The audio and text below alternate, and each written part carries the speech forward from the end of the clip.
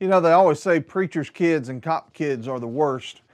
I find that interesting because in my profession, I am certainly a preacher full time, but I also used to be a full time law enforcement officer.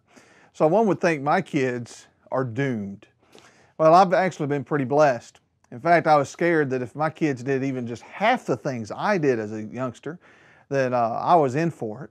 But fortunately, my kids have been a whole lot better. I'd love to say it's because of my parenting, but I, I really just think I've been very fortunate. Uh, and I pray that I continue will, to be. Now, the obstacles in life that we face and then we get worried about sometimes when we're young, it's how do we get through school? And then we get those college years is, well, we got to get through college. We, we have to get a job. What about finding a wife? And, and all those things can be challenges. Buying our first house, buying a car. But to be honest with you, I don't know that there's anything that's more challenging than being a parent.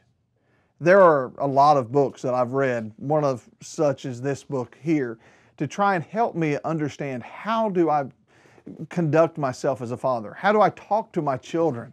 How do I be a better parent? And while books written by men are good, let us always understand that God's Word, the Bible, is the best book to always consult and go to when it comes to parenting, when it comes to marriage, when it comes to any issue of life. Today on the program, I want us to examine what does God's Word say about parenting? As we answer that question, we'll look into the Bible and help you, and hopefully me, be better parents. Thanks for joining me, Guy Montgomery, for Have a Bible Question, where we search God's Word for Bible answers to your Bible questions.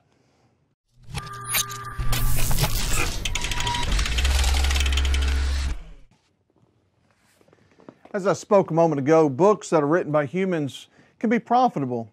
But most of the time, when I've read self help books on parenting or finances or, whatever it may be, the truth is the parts of the books that they get right, normally the truth is already contained in the Word of God.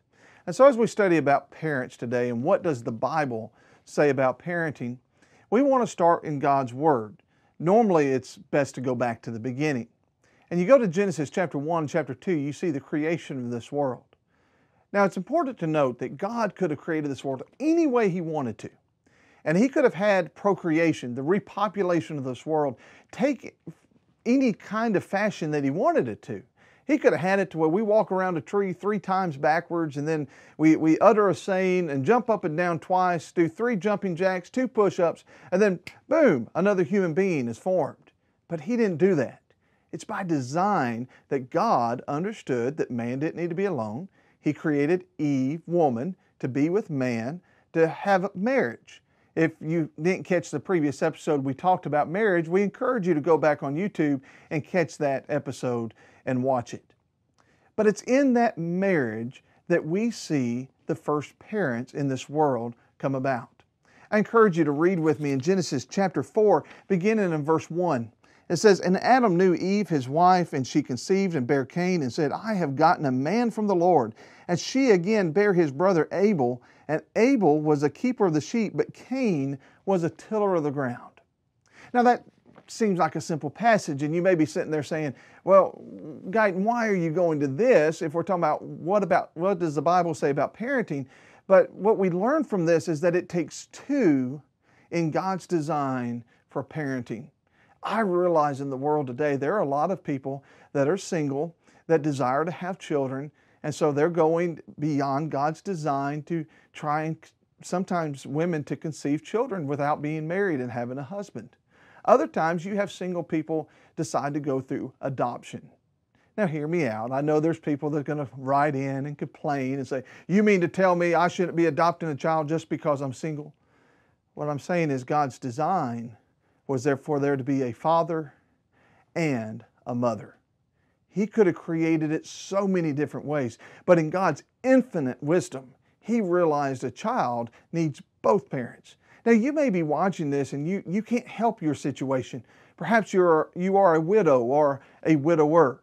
Perhaps for some reason your spouse has decided to leave you, and there's nothing that you can do about that well, then you ought to be the very person to know how difficult it is for you to be serving as father and mother in that relationship with your children. A child needs his father, a child needs his mother. If you want further examples of this, go to Matthew chapter 1. It starts with the lineage of Jesus, but it records for us the birth of Christ.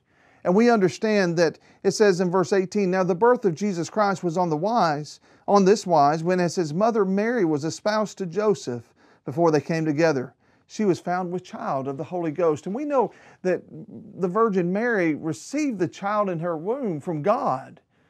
But God would send an angel to talk to Joseph. And in those verses, he would tell him, Fear not to take Mary as thy wife. And he did. It says that he didn't know her until after the birth of Jesus. But God understood that even for Jesus, it was important for him to have an earthly mother and an earthly father. If we want to be the best parents that we possibly can be, let us understand it starts according to God's word by there being a father and a mother, because that is what God designed. Throughout history, the path of life has been for most an unknown path. The struggle of mankind to find meaning, to know from where we came, to ultimately know where we'll end up.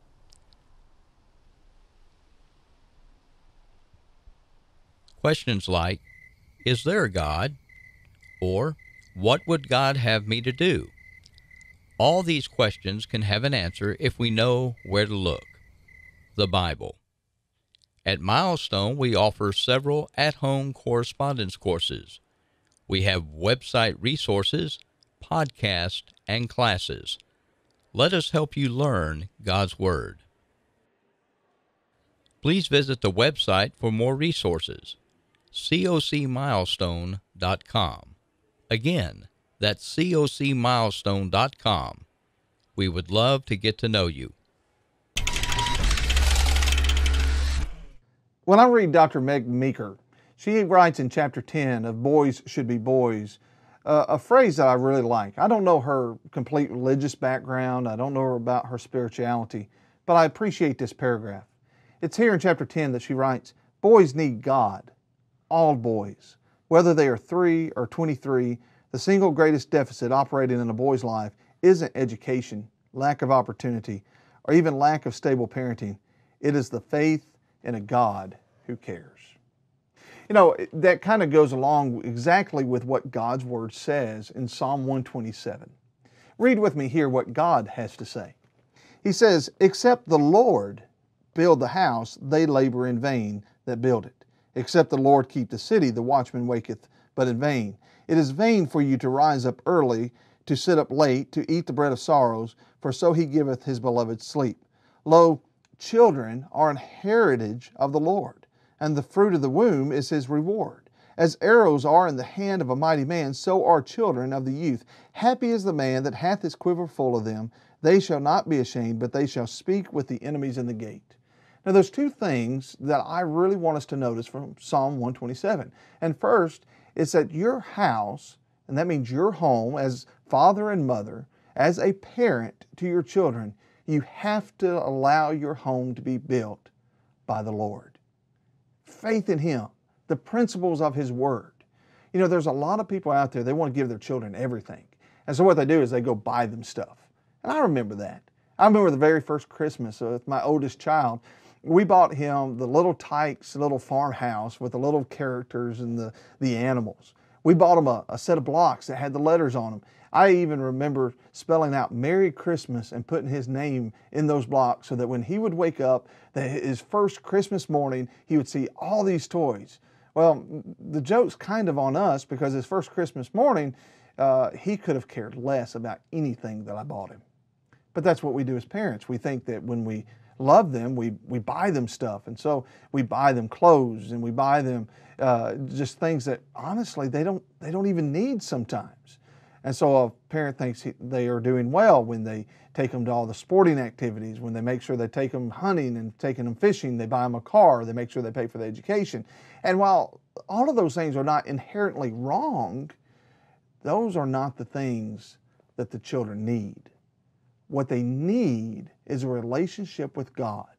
and there have a relationship with God when you allow your home to be built by the Lord. The second thing I take from Psalm 127 to help us as parents is not just that we need to let the Lord build our house, but we need to be thankful for our children. Now, I know that seems kind of like a given because for nine months we, we anticipate that child coming into this world and, and, and it's such a great blessing when, when that child comes forth from the womb and, and you're able to hold your son or perhaps your daughter for the very first time. And, and they're there and they're soft and, uh, and then all of a sudden the diapers start. And then the crying starts.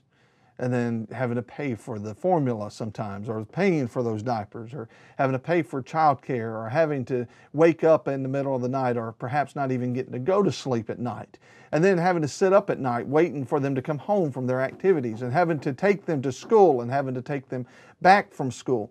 All these things can become to a point that sometimes we forget to be thankful for our children. Remember what it says in verse 3 Lo, children are a heritage of the Lord, and the fruit of the womb is his reward. As arrows are in the hand of a mighty man, so are the children of youth. Happy is the man that hath his quiver full of him. I love that passage because, yes, the busyness of life can make it difficult to remember that our children are a blessing, but they really are. In fact, you'll notice in many marriages, they actually struggle after the children leave the home because for many, many years, the children is gives you a lot of purpose in life. They are a blessing from God. They bring you sadness and, and lack of money sometimes, but they also bring you joy. They bring you happiness. They can bring you fulfillment. Now, it's important to prepare your marriage for when the children leave because that's what you are training them for is to, to one day leave the home. But you need to remember to be grateful, be thankful. Now, the reason this helps you in parenting is because when you're thankful for your children, you're going to want to spend time with your children. We're going to talk about the aspect of training here in just a moment, but when we are thankful for our children, we'll want to use every day to its greatest advantage to make sure that we spend our time with them. I don't know that I've always done that as a father. I've always loved my children. I would like to say I've always been thankful, but looking back, there are opportunities that I passed up to throw the ball, to go out there and ride a bike, do things with my children to spend time with them. Now that my children are teenagers and I've realized the time I have to spend with them is is growing less and less and their dependency on me is not nearly what it used to be. I'm thankful for them even more and trying to make the most of every day. So as parents, let's remember, yes, children need father and mother. Yes, our house needs to be built by the Lord upon faith in Him and His Word. And yes, every day as parents, let's be thankful for the greatest blessing that God has given us. After life itself, after salvation through Jesus, He has given us the blessing of having children. Since 1987, the Northwest Florida School of Biblical Studies has been providing college level Bible classes tuition free. In fact, I myself am a graduate of the school. I'm excited to announce that we are now 100% online, offering you the opportunity to utilize these courses to help you grow in your relationship with God. You can learn more so that you can prepare yourself for the next semester at nwfsbs.com. Hallelujah. I am rejoicing, singing his praises. Jesus is mine.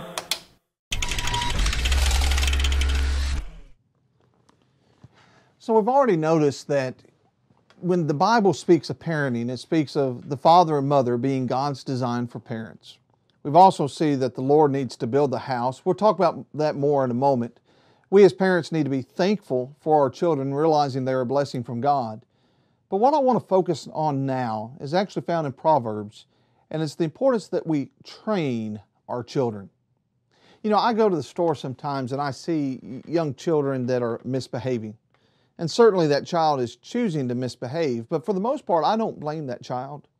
You know, I look to the parents. Now, I realize there are certain circumstances that a child may have medical conditions, mental conditions that's causing that type of behavior. But many times, simply put, it's because the parents have failed that child to discipline and train him how he should behave. Children can be trained. That's what is spoken of when you read Proverbs. Proverbs chapter 22, verse 6 Train up a child in the way he should go, and when he is old, he will not depart from it. You know, we get that with our with our animals. Now, I'm not saying that a child is an animal, but let's think about it in training aspect. Your dog, if he does something good and you reward him, then all of a sudden he is going to do that same thing again. See, my little dog, I have a Maltese. I know that's a little foo-foo dog to some people, but that's what we have because of allergies. And in the morning times, I make my sons their lunch to take to school. Now, our Maltese loves deli meat. Go ahead and send in the emails complaining to me about how you shouldn't feed deli meat to your dog. But if it's good enough for my kids, it's good enough for my dog. Now, he comes over there and he wants initially to jump on my leg and scratch and to bark every time he hears the sound of that deli meat opening. But I don't give him the meat. I make him sit and I'll tell him, sit. And when he sits, I give him the meat. After several days, what ends up happening is he stops coming over to my leg, scratching on it, barking, doing the behavior that I don't want him to do. He comes over there quietly and he sits on the floor and he waits for me to give him a piece of deli meat. Now, y'all, our children are much smarter than these animals. They get these same concepts. If you go to the store and, and all of a sudden your child pitches a fit in the store for a candy bar or for something that's in your purse, like mother's, or, or, or for whatever it is they want, if we give it to them, we have trained our child to behave in a, a bad way in order to get a positive reaction. See, God understood this. That's the importance of training. Look at later on in Proverbs chapter 22, verse 15. Foolishness is bound in the heart of a child, but the rod of correction shall drive it far from him. The rod of correction. And I, I know it's not politically correct and, and to think about corporal discipline today, but I'm going to tell you that if I wouldn't have had a paddle used on my rear end whenever I was at school, I don't know where I'd be today. If my daddy wouldn't have taken the belt off and to, to lay it upon my rear end to correct the, the poor behavior, I promise you I wouldn't be the preacher, the man, the father, the husband that I am today. And no, I'm not perfect, but it took that rod of correction. Now, I'm not saying you have to, to spank your child. Perhaps you don't want to use spankings. And certainly we never endorse abuse. Do not abuse your children. But you need to use the rod of correction. You need to not reward poor behavior. He pitches the fit, he's acting badly for the candy bar. Don't give it to him. Be strong enough. Don't, don't, don't sit there like some parents, but my child won't love me. Now, he will love you later on for teaching him the things that he needs to know. Let's also go over to Proverbs chapter 29, verse 15 through 17. It tells us here, the rod and reproof give wisdom. Notice that the rod and reproof give wisdom? Don't you want your child to be wise? Don't you want him to be smart? How does he get that? Through reproving him, through correcting him. He goes on and says, But a child left to himself bringeth his mother to shame. Now, this is a little bit of a side note, but, but parents, some of you ought to be ashamed the way your child is behaving because the only reason they're behaving that way is because you haven't disciplined your child. Keep reading from God's infinite wisdom with me in verse 16 when he says, When the wicked are multiplied, transgression increaseth, but the righteous shall see their fall. Correct thy son, and he shall give thee rest. Yea, ye, he shall give delight unto thy soul. Parents, you need to be willing to train your children, and that includes discipline your children. If you don't want the government to have to discipline your child by putting them in prison, perhaps today you need to put him in timeout or take your belt off and put it on his rear end. Do not think that loving your child doesn't mean you don't discipline your child. If you sit there today and you sit, say, but no, no, Guyton, I don't think that discipline that child, that's going to be good, then you're actually saying you know more than God. And that would be very foolish. Proverbs 22 6 says, Train up a child in the way he should go, and when he is old, he shall not depart. The Milestone Church of Christ understands the importance God places upon family. Parents are given the charge to train their children and teach them about the life, God, and His love for them. We strive to help families in this through Bible classes of all ages, biblical worship services, service opportunities, and other programs for the family. Learn more at cocmilestone.com, or better yet, come visit us in person at your earliest convenience.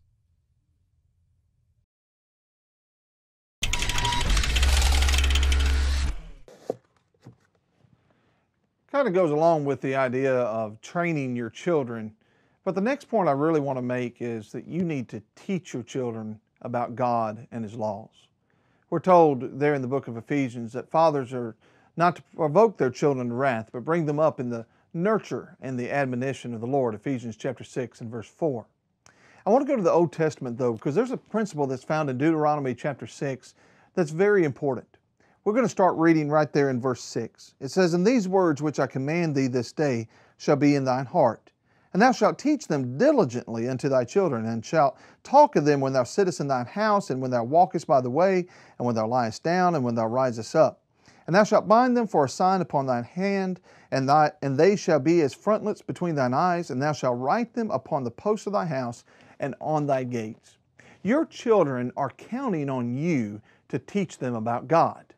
Now, it's unfortunate that oftentimes as fathers, and encourage you to watch next week as we address husbands and fathers, but it's unfortunate that many fathers expect their wives, the mothers, to teach them about God, their children. But it's our responsibility as fathers. It's our responsibility to work together as a parenting unit, father and mother, to teach our children to love God and to keep His commands. It means they have to know the Word. Well, this starts simply by taking them to worship. Take them to Bible class. Those are great things that, that we can do, but unfor- unfortunately, that's all some parents do. They think we will just take them to church, so to speak, and, and that'll be enough. But it's not. Just like Deuteronomy says, you need to be talking to them about the commands of God.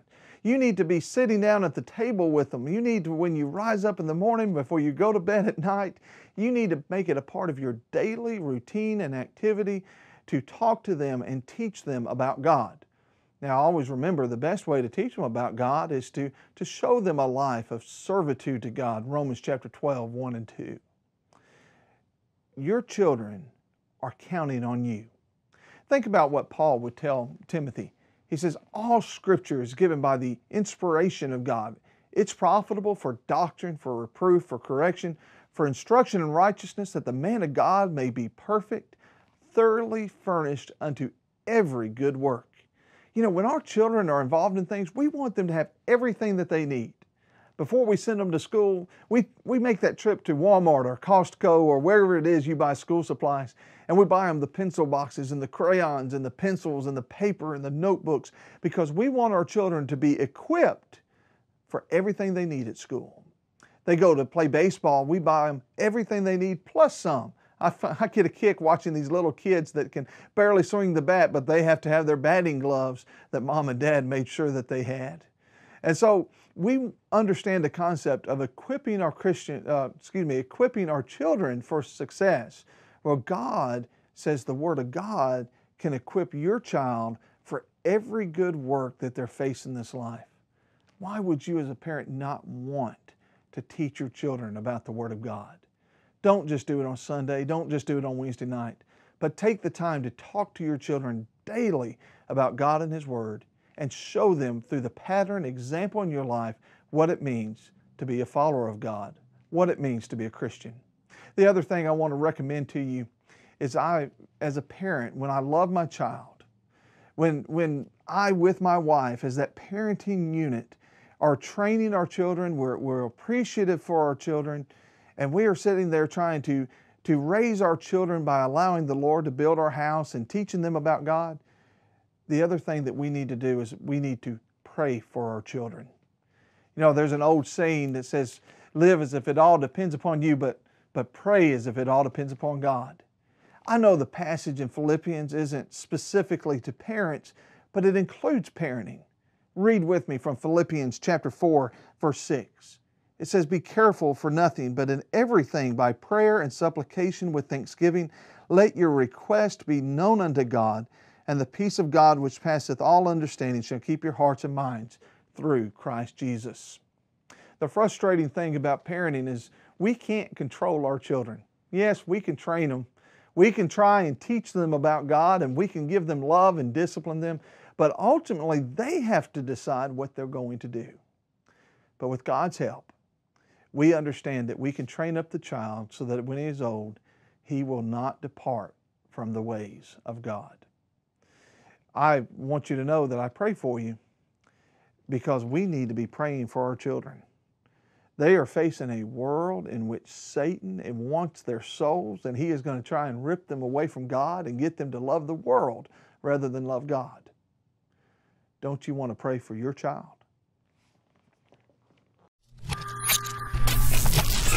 No matter what else is happening in the world, you will always find Good News Today, a proud partner of Have a Bible Question. A part of our program every week includes a question that Guyton and Troy answer for our viewers. Good News Today can be seen on many of the same television stations that air Have a Bible Question. You can also watch the program on our website, gnttv.org, or on your phone through our apps. We also have a channel on Roku and Apple TV, as well as episodes archived on YouTube. We'd love to have you join us. I hope you're enjoying the program. I want to tell you about a great opportunity that you can have your Bible questions answered. Every single Tuesday night, I'm joined here in the studio of the Northwest Florida School of Biblical Studies by Troy Spradlin, Jeff Orr, and Ray Brantley. Together, we answer questions with Bible answers. So join us every Tuesday night at 6:30 by searching for Have a Bible Question on YouTube, on Facebook Live, as well as our website and a podcast afterwards.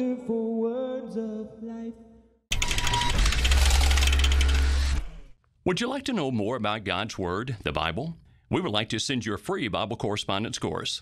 You take each lesson that we mail to you and complete it at your own pace. This allows for little pressure and for God's Word to do the teaching.